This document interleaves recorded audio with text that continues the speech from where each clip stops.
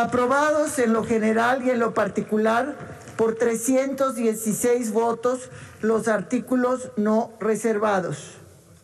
Mexico is one step closer to legalizing marijuana.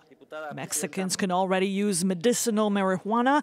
The new bill, largely approved by the lower house, will legalize recreational use too. People could carry up to 28 grams of the drug and grow eight plants at home.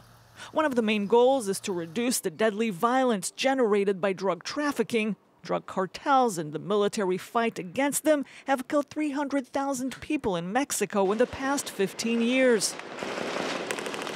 Estoy impulsando el crecimiento del mercado, uno, para arrebatarlo a los criminales, que es fundamental. Nos va a reducir la violencia, no hay duda.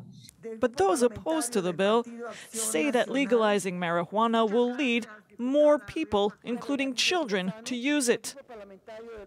Entonces estaríamos llegando a la liberación de todas las drogas? ¿O por qué unas sí y otras no?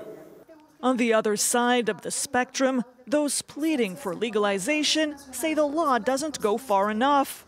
Activists say the law would benefit large corporations and penalize indigenous communities because it introduces numerous requirements which small producers will struggle to apply.